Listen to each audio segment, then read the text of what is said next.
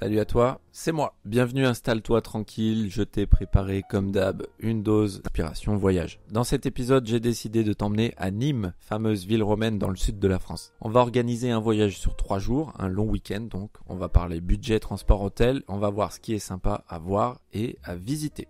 Donc, ok, Nîmes, c'est pas une destination très commune, et j'en conviens, c'est original. Enfin, sauf si tu habites déjà à Nîmes, bah dans ce cas, bon, euh, salut, on se revoit à la prochaine vidéo. Bon, d'ailleurs, avant que on me reproche un truc, je voudrais juste préciser que je fais toutes mes vidéos voyage avec un départ de Paris. Et voilà pourquoi. Déjà, c'est de très loin la ville la plus peuplée en France, qui est clairement le pays d'où provient l'essentiel de l'audience de mes podcasts. Ensuite, ça reste une plaque tournante pour les transports en Europe. Enfin, il faut bien choisir. Voilà, c'est comme ça. Après, moi-même, j'habite à des milliers de kilomètres de Paris, donc concrètement, c'est juste un point de départ, parce qu'il en faut un. Toutes mes vidéos sont des bases qui te donnent une idée de ce qui est possible de faire, à quel prix. Après, tu adaptes à ton cas de figure. Tu es grand. Ça, c'est dit, on peut y aller. On va partir du coup bah, de Paris, t'as compris, direction Nîmes. Pour y aller, c'est pas compliqué, la meilleure option à tout point de vue, c'est le TGV low cost Wigo qui met environ 3 heures. Le prix moyen est à 32 euros aller-retour. Le seul X, si je peux dire, c'est qu'il faut y aller euh, prendre le train à la gare de Marne-la-Vallée. C'est pas difficile d'accès depuis Paris, mais le train part à 7 heures du matin. Voilà, il va falloir se lever assez tôt. Les retours sont beaucoup plus cool puisque le départ est à 12 heures de Nîmes pour arriver vers 15 heures à Marne-la-Vallée. Le gros avantage, c'est que le train vous dépose en plein cœur de la ville de Nîmes. C'est très pratique. Je vous rappelle que sur les TGV Wigo, qui sont des low cost, vous n'avez qu'un bagage type bagage cabine. Si vous voulez rajouter une valise classique, c'est 5 euros en supplément par trajet.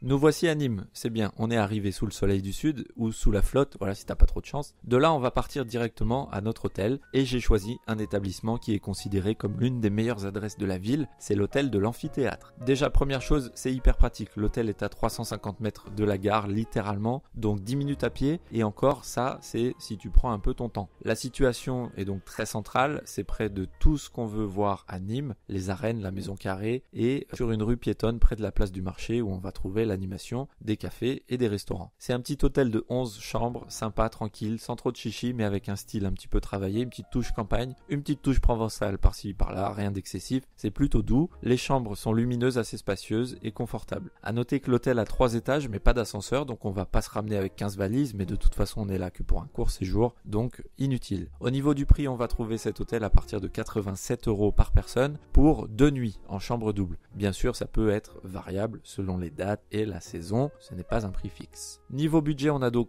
notre transport à 32 euros et notre hôtel à 87 euros, je parle par personne, soit un total de 119 euros pour notre séjour de 3 petits jours et de nuit. À ça, on peut rajouter environ 40 euros par personne par jour pour tout ce qui est euh, resto et café, en comptant un restaurant et un repas plus léger chaque jour. On va donc rajouter 80 euros, ça me semble très bien pour profiter. On peut faire avec moins, euh, moitié moins, je dirais, si on est économe. On pourra par exemple goûter une brandade de morue ou une gardienne de taureau, qui sont deux spécialités locales. Euh, ça nous fait donc un total tout inclus à 199 euros pour ce séjour. Pas besoin de transport en commun, Nîmes est une ville euh, assez petite, très compacte. On s'y déplace à pied dans le centre, d'autant que tout ce qui nous intéresse est très près de l'hôtel. Donc bah, il ne nous reste plus qu'à découvrir notre destination. On reste deux nuits, ce qui avec les horaires des trains nous donne une première journée presque complète, mais où on risque d'avoir un petit coup de fatigue dans l'après-midi, hein, parce qu'on s'est levé très tôt, je vous rappelle, et une journée complète le lendemain, et une petite matinée pour le dernier jour.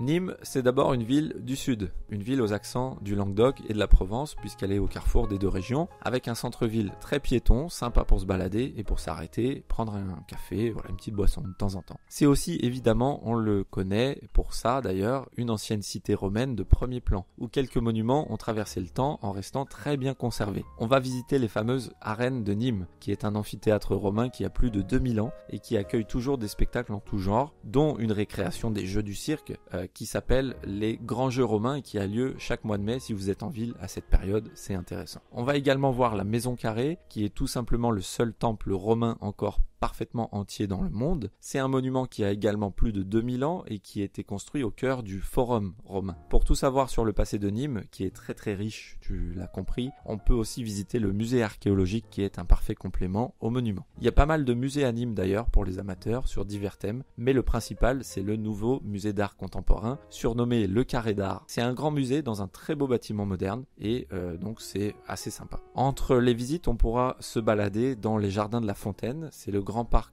euh, de la ville de Nîmes. C'est très sympa avec plusieurs statues, des fontaines évidemment, et puis euh, les ruines d'autres monuments romains encore, comme le temple de Diane, ou encore la tour Magne, où on peut monter pour avoir une très belle vue sur toute la ville. Au-delà de tout ça, Nîmes est une ville très festive, avec entre autres les célèbres férias de Pentecôte, qui est l'un des grands festivals de France. C'est très très très animé, mais évitez de venir à ce moment juste pour une visite classique de la ville, ou euh, si ce genre de festival c'est pas trop votre truc. Voilà, c'est ici la fin de notre voyage à Nîmes. Il est temps de rentrer, malheureusement, et oui. J'espère que ça t'a plu. Je prends beaucoup de temps et de plaisir à faire mes podcasts et j'espère que tu apprécies. J'espère que ça te donne envie de bouger, envie de voyager, que ça te motive. C'est dans cette optique que je le fais. Voilà, c'est pas grand chose. Mais n'hésite pas à t'abonner à la chaîne pour me rejoindre et à commenter les vidéos si tu le souhaites. Et surtout, surtout, si tu n'aimes pas ce que je fais, alors surtout n'hésite pas à ne pas me le dire. C'est très important que tu comprennes ça. Sur ce, je te dis à très bientôt. On fera de nouveaux voyage. Ciao